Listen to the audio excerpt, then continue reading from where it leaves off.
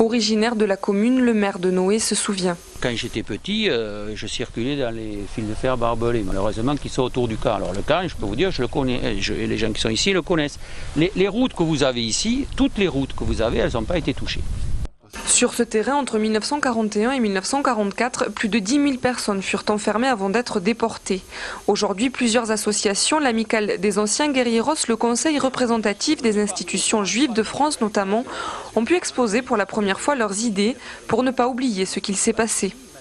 Il y a des projets à la région Midi-Pyrénées de faire des chemins de mémoire. Il y a, il y a des successions de, de tragédies.